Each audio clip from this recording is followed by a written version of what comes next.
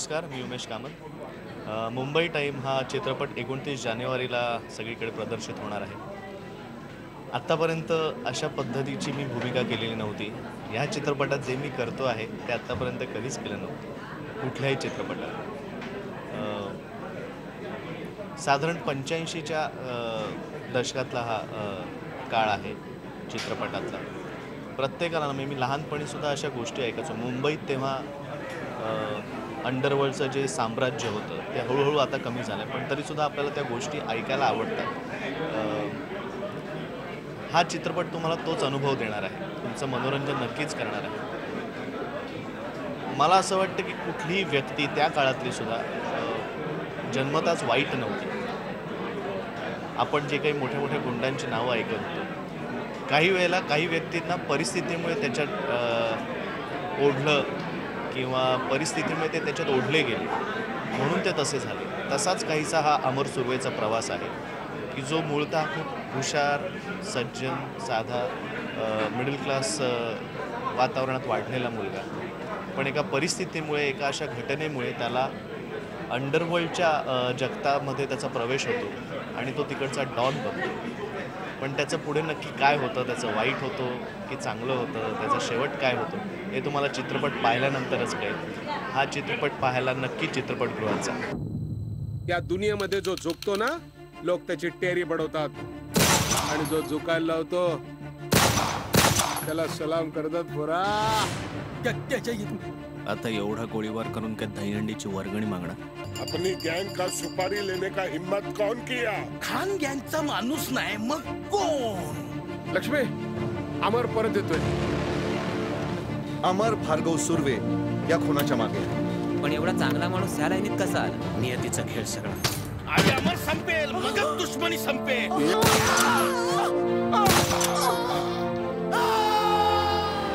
अब क्या करें दस दिन के अंदर सब कुछ काम करो दस दिन H D Burman R D Burman बरोबर मला अनेक वर्ष काम करता आलं आणि त्यातून मला पुष्कळ शिकायला मिळालं. म्हणजे तेव्हाचा जो काळ होता तो लाईव्ह रेकॉर्डिंगचा असायचा जे काय पाहिजे ते समोर पटपट पटपट सांगायचं वाजवून घ्यायचं. आता काय होतं की हल्लीच्या जमान्यात की कोणतरी ट्रॅक करून ठेवतो मग कोणतरी वाजवायला केव्हा तरी येतो वगैरे गायक केव्हा येतो. तर शेवटपर्यंत संगीतकारालाही कळत नाही की गाणं कसं होणार आहे. बरं काय चेंज करायचं असेल सांगितलं तर तुम्ही मेल पे भेजता हो. आणि म्हणजे काय ते देवाणघेवाण होती ना म्हणजे सेटिंग व्हायच्या तेव्हा. म्हणजे आर्डीकडे असताना मला आठवतं मजरू सुलतानपुरी आनंद असे तेव्हा लिहायला यायचे. तेव्हा शिव्या गाडीपर्यंत म्हणजे तो हे जायचं. का तर जाणं चांगलं झालं पाहिजे? कोणाचं इगो म्हणून नाही. तेलुगू काय आता आहे हिंदी म्हणून. अं, मजरू सुलतानपुरी आरतीला विचारायचे. किंवा तो यांना विचारायचा मेरे को ये चाहिए वैसा चाहिए. तर ते भांडणावर आहे गया तू एक वर वगैरे. करत ते घरी बिरी जायचे. म्हणजे सिटिंग तिकडेच बरखास्त व्हायची. घरी गेल्यावर मग दोघांना कळायचं काहीतरी आपलं चुकलेलं आहे. मग रात्री एकमेकांना फोन सॉरी यार मी खूप जादा बोल गया. परत सकाळी ताज्या जमाने भेटायचे. पण हे सगळं गाणं चांगलं होण्यासाठी असायचं. तर ही देवाणघेवाण जी असायची हा नको का नको किंवा हवा कशाला हवा? तर आता काही सेटिंग होत नाही काही नाही काही नाही. आणि त्याच्यामुळे खरोखर म्हणजे शेवटपर्यंत कळत नाही गाणं कसं होईल किंवा काय. फक्त मेल पाठवणं व्हॉट्सॲपवर हे करणं ते करणं काय मजा राहिली नाही थोडक्यात सांगायचं नाही. आणि मी जो काळ भोगला तो जवळजवळ दहा बारा वर्षाचा राजेश खन्नाचा जो काळ होता त्या काळात मी आर डी बरोबर काम केलंय. तर मला मी भगवान समजते खरोखर. आणि त्याच्यातूनच पुष्कळ शिकायला मिळालं ते आजपर्यंत माझ्या उपयोगी पडतात. अशोकची एक छोटीशी गंमत आहे. खरं तर ही खरोखरच गंमत आहे. एस डीने तुम्हाला सांगितलं होतं ना आरडी के साथ काम मत करना तो बजाने वाला है होय. अं, खारला मी राहायचो लिंकिंग रोड आता गजबजलेला असतो. तेव्हा काही नसायचं. गवत वाढलेली असायची उंच उंच. आणि त्याच्यामध्ये एक बंगला होता. आता टेलिफोन एक्सचेंज आहे. त्याच्या समोर एक किराण्याचं दुकान होतं. आणि त्याच्या बाजूला जेट बंगला होता एस टी बर्मनचा त्या जेट जेटच्या बाजूला हिराणीच्या हॉटेलमध्ये सगळे हिरो हिरोईन लेखक कारण सगळ्यांना सवय असते ना पान बिन घ्यायची कटिंग चहा इराण्याकडे केव्हा मिळायचा? तो प्यायला आणि सगळ्या गाड्या बिड्या लावून म्हणजे मोठे मोठे देवानंद सारखे सगळ्या गाडीत बसल्या तिकडे मागवला हे केला. मोठे मोठे कवी शाहीर उद्यानवी मजरूर सुलतानपुरी आनंद बक्षी सगळे पान खायला आहे. आणि अतिशय चांगला पानवाला होता तो. तर सगळे तिकडे भेटायचे. तर मी सुरुवातीच्या काळात तिकडे त्या लोकांना बघायला म्हणून जायचं. दर्शन घ्यायला त्या लोकांचं. आणि त्या एरियामध्ये एवढे लोक राहायचे खारला. त्याच्याच पुढे खार जिमखाना आहे आता तिकडे. तर तेव्हा तो जिमखाना म्हणजे झोपडपट्टी टाईप होता काहीतरी एवढंसं. तर ते ग्राउंड होतं. त्या ग्राउंडवर मी वॉक घ्यायला जायचो किंवा काही मंडळी असायची नट नट्या. एशी बर्मन पण यायचे. पण ते कसे यायचे? जेटमधून गाडीत बसायचे. गाडीतून खार झाला म्हणजे पुढचीच गाडी इकडे उतरायचे असे येऊन धोतर बितर असा घेऊन उभे राहायचे जरा. दोन चार पावले इकडे दोन चार पावले तिकडे. उभे राहायचे. चला परत गाडीत बसला की हे म्हणजे त्यांचं वॉक असायचं. तर तेव्हा एकदा माझी भेट झाली तिकडे. तर दक्षिणामोहन टॅगोर म्हणून अं, वाजवते अतिशय गोड.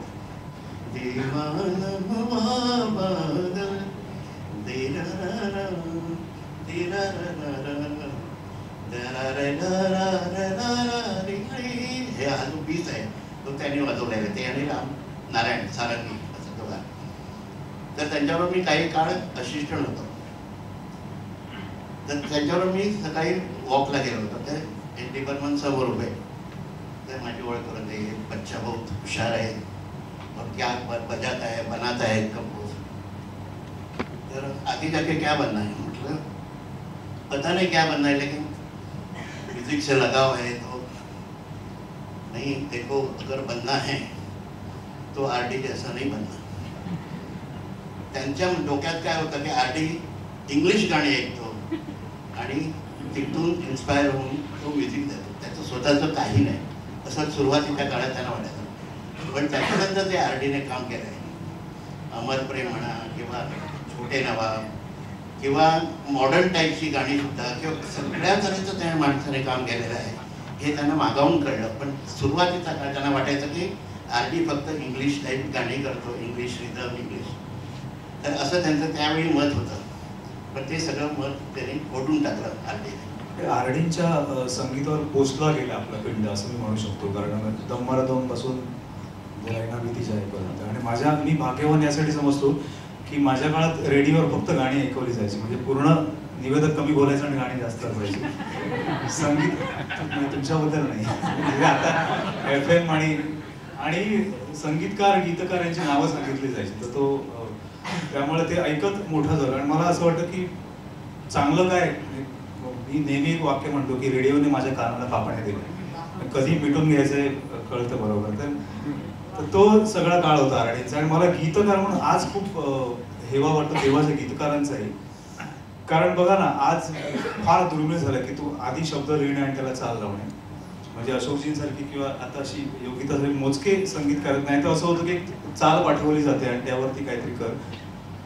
तर त्या काळात किंवा अरे शब्द चांगले आहेत पण हे म्हणजे माझ्या डोक्यात ठेवून येतात बसत नाही. तर ते जे मी खरंच तेव्हा जर असतो तर वाटलं असतं कारण मेराकूचे सामान यासारख्या गोष्टीला म्हणजे कवीला केवढं केवढी मुभा आहे की तू लिही मी चाल लावतो तर ते फार दुर्मिळ आहे. आणि मला वाटतं की संगीतकार एक गंमत असते की कागद असतो तो गोळा करूनही तुम्हाला मारता येतो आणि बाण करूनही मारता येतो. जेव्हा बाण करता तेव्हा अचूक जातो. तर मला वाटतं शब्द ते कागदासारखे असतात. संगीतकाराच्या हातात असतं की तो गोळा करून मारायचा की बाण तर त्यामुळे मला वाटतं त्या प्रकारचे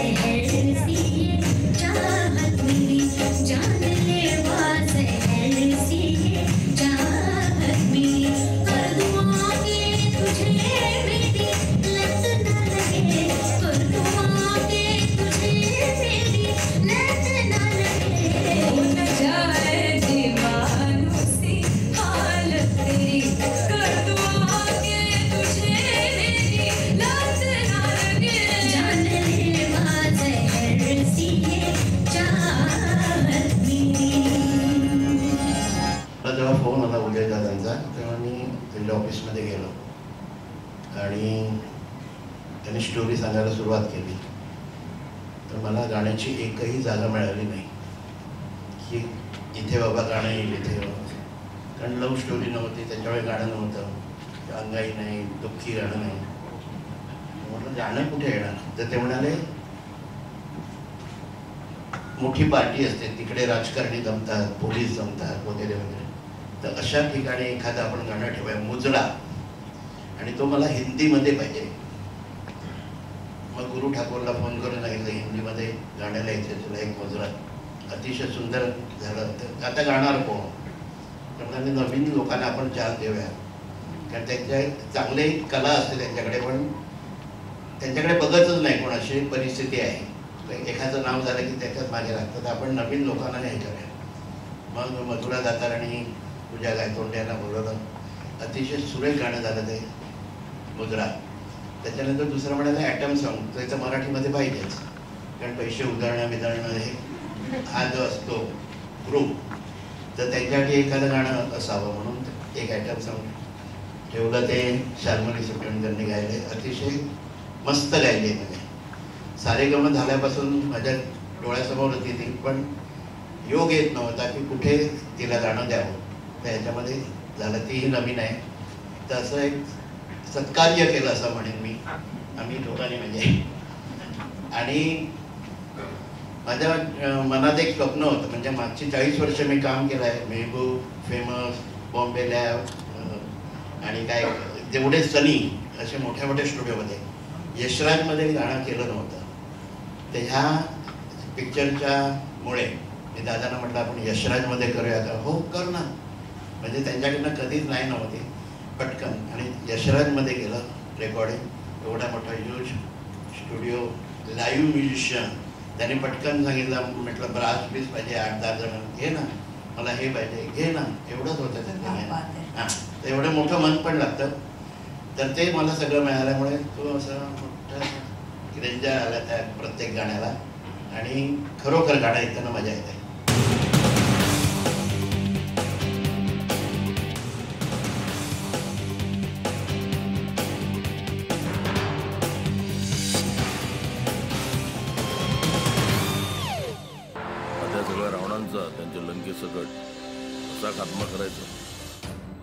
जास्त वेळ मला फॉलो करण्यात जातो नाही?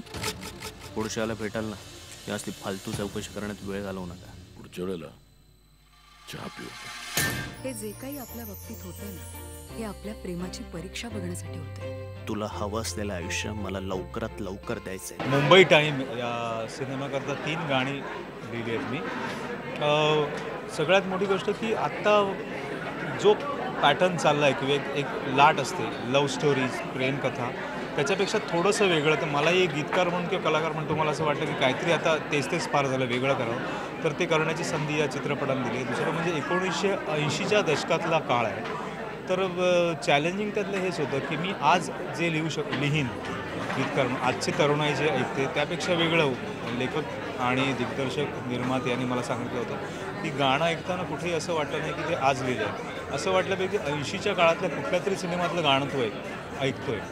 तर त्या दृष्टीने मी प्रयत्न केला. त्यातली ते कव्वाली मुजरा आहे. तो पूर्णपणे उर्दू हिंदी आणि त्या काळात जो पॅटर्न वापरला जायचा तसं केलं आहे आयटम सॉन्ग लिहिताना विचार केला की ते बघताना कोणाला वाटतं नाही आजचं आहे. पंच्याहत्तर ऐंशीच्या काळातल्या एखाद्या सिनेमातलंच गाणं वाटावं असं. आणि थीम सॉन्ग आहे जे ही दोन अशोक पत्कींनी केले. तर त्यांच्या संगीताबद्दल मी बोलणं म्हणजे फारच मोठी गोष्ट आहे की त्यांनी ते पूर्णपणे ते म्हणजे बघताना तुम्हाला वाटतं की शब्दांचं सोनं झालं. तिसरं गाणं योगिता चित्र नवीन संगीतकार तिने केलं केले ते थीम सॉन्ग आहेत. अख्ख्या फिल्मची गोष्ट उद्योगांनी सांगितलं की मला एका एकच गाणं असावं जे टप्प्याटप्प्याने येत जाईल प्रत्येक प्रसंगाला. या सीननंतर त्या सीननंतर आनंदी सॅड रिव्हेंज तर ते एक वेगळं गाणं आहे. तर अशी तीन गाणी आहेत आणि लोकांना आवडेल. आणि मला यात आवडणारी गोष्ट ही होती की कुठेही गाणी हवीत म्हणून गाणी नव्हती तर ती चित्रपटाची गरज म्हणून गाणी असतील गोष्ट पुढे नेणारी. असं काम केलं आहे तुम्हाला नक्की ट्रेलर बघितल्यानंतर मुंबई टाईम हा चित्रपट नक्की काय आहे हे आता पुन्हा नव्याने सांगायची गरज नाही मॅम. ते सगळ्याच कलाकारांनी दादांनी ऑलरेडी चित्रपटाविषयी खूप काही सांगितलं मी एवढंच म्हणेन की या आधीचा माझा चित्रपट मी उमेश संजय दादा शर्वाणी पिल्ले आम्ही सगळ्यांनी एकत्र केलेला पेईंग गोष्ट एक कौटुंबिक विनोदी चित्रपट आणि त्याच्यानंतर अशा पद्धतीचा चित्रपट मला करायला मिळणं हे माझं भाग्य मी समजतो आणि दादा तुमचे खरंच खूप आभार की ही संधी मला तुम्ही दिली खूपच वेगळा म्हणजे पेइंग गोस्ट हा एक एक- दिशा असेल तर त्याची एक्झॅक्ट विरुद्ध दिशा म्हणजे Mumbai Mumbai time revenge story ही फिल्म आहे. मध्ये कुठेच कोणी मारामारी करत नव्हतं इथे फक्त लोक मारामारीच करतात. इथे कोणी काही बोलतच नाही. इतकं इतकी ऍक्शन या चित्रपटामध्ये आहे. आणखीन एक महत्वाची गोष्ट या फिल्मच्या बाबत की मराठीमध्ये कधीही न पाहिलेला असा अंडर वॉटर ऍक्शन सिक्वेन्स आम्ही या फिल्ममध्ये शूट केला. तो जवळजवळ दीड मिनिटाचा ऍक्शन सिक्वेन्स आहे. आणि त्यातली एक गंमत अशी की त्या सिक्वेन्समध्ये जे दोन कलाकार होते उमेश कामत आणि अनिल नगरकर. उमेशला फॉर्च्युनेटली पोहता येत होतं. अनिल नगरकरची आयुष्यातली पहिली वेळ होती जेव्हा तो पाण्यात उतरला. त्याच्याबरोबर तो under water action sequence shoot करणं खरंच आमच्या सगळ्यांसाठी चॅलेंज होती. आणि थँक्यू अनिल की तू त्याच्यामध्ये आम्हाला सगळ्यांना खरंच मदत केलीस. यासाठी खूप वेग वेगवेगळे टेक्निशियन्स आमच्या बरोबर होते. अजित रेड्डी आमचे डीओपी एडिटर राजेश राव आणि इतर अनेक तंत्रज्ञ. बॅकग्राऊंड संगीत देणारा अद्वैत पटवर्धन आदित्य ओक अशा इतर अनेक तंत्रज्ञांच्या साह्याने आता ही फिल्म रिलीजला रेडी आहे. एकोणतीस जानेवारी दोन हजार पंधरा सगळ्यांनी कृपया थिएटरमध्ये दोन हजार सोळा सगळ्यांनी कृपया चित्रपटगृहात येऊनच हा चित्रपट बघा.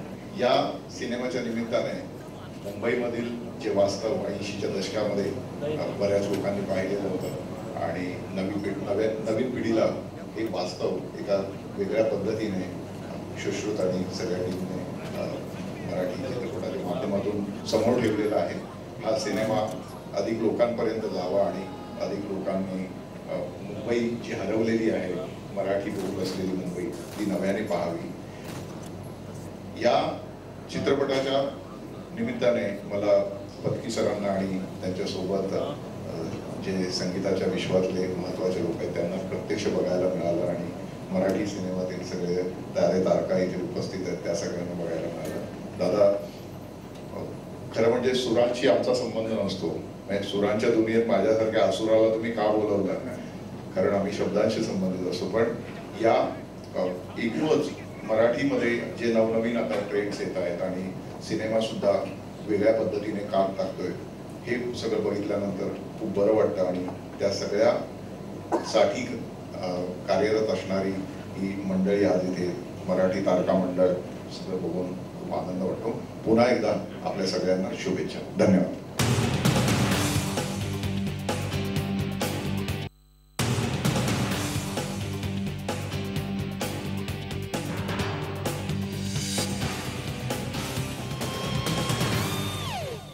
याच्यामध्ये छोटीशी असली तरी अत्यंत महत्त्वाची भूमिका मी करते.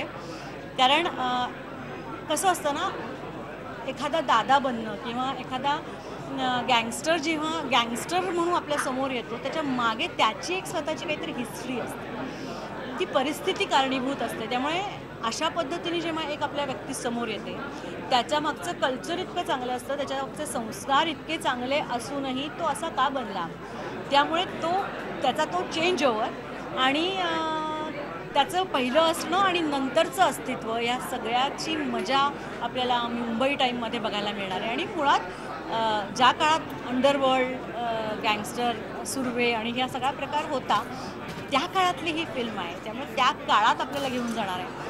एक वेगळा चित्रपट म्हणण्यापेक्षा वेगळी मांडणी असलेला चित्रपट आपल्याला सगळ्यांना बघायला मिळेल. आणि त्याची जी परिस्थिती बदलते तो एक अत्यंत सा छान सुसंस्कृत मुलाचा गँगस्टर होतो. त्याला कारणीभूत कुठेतरी आम्ही असतो मी आणि माझे म्हणजे त्याचे आईवडील असतात. आणि एक वेगळी छान भूमिका घेऊन मी पण येते आणि सगळा चित्रपट आपल्यासमोर येतो. नक्की चित्रपटगृहात जाऊन बघा. कसं असतं ना एक चित्रपट बनतो तो चित्रपट म्हणून बनलेला असतो. तो आपल्याला माहिती आहे की एक सहा महिन्यांनी सगळ्यांनाच माहिती आहे सहा महिन्यांनी येणार आहे तो टी व्हीवर आपण बघणार आहोत. पण नाही तशी मजा ते छोट्या स्क्रीनवर नाही आहे तो मोठ्या स्क्रीनसाठीच बनवलेला आहे. त्यामुळे त्याचं ग्रँजर वेगळं आहे. त्याची गाणी ऐकणं त्याच्यातले जे काही हाणामारीचे प्रसंग आहेत मारामाऱ्या आहेत खून आहे हे मोठ्या पडद्यावरचा इफेक्ट घेणं हे जास्त महत्त्वाचं आहे. त्यामुळे नक्कीच चित्रपटगृहात जाऊन मुंबई टाईम बघा. रसिकांचा जितका उत्तम प्रस प्रतिसाद सध्या सगळ्या मराठी चित्रपटांना मिळतो आहे तसाच मुंबई टाईमला पण मिळेल अशी नक्कीच अपेक्षा आहे. मुंबई टाईममध्ये या चित्रपटाचं थीम सॉन्ग करण्याची संधी मला मिळाली.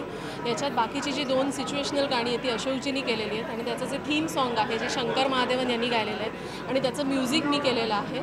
आणि एक माझ्या आयुष्यात मी आजपर्यंत कधीच अशा पद्धतीचं म्युझिक केलेलं नव्हतं आणि पूर्णपणे नवीन पद्धतीचं गाणं तुम्हाला ऐकायला मिळेल. जे इंटेन्स आहे जे खूप हृदयाला भिडतं असं हे गाणं केलेलं आहे. कारण मुळात त्या चित्रपटाची स्टोरी जी आहे आणि ते ज्या पद्धतीने शूट केलं ते खूप इंटेन्स आहे. आणि तोच अनुभव मी गाण्यातनं माझ्या दिलेला आहे. तर नक्की देण्याचा प्रयत्न केला आहे तुम्ही जरूर ऐका आणि मला आवडेल.